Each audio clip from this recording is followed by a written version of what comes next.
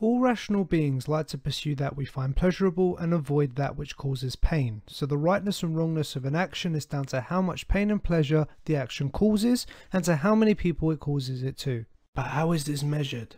How is pleasure and pain calculated in order to reach the right decision? Well, Bentham had an idea on that. He devised the hedonic calculus. He would weigh up the pleasure and pain of a situation by focusing on seven things its intensity, its duration, its certainty, its propinquity, its fecundity, its purity, and its extent.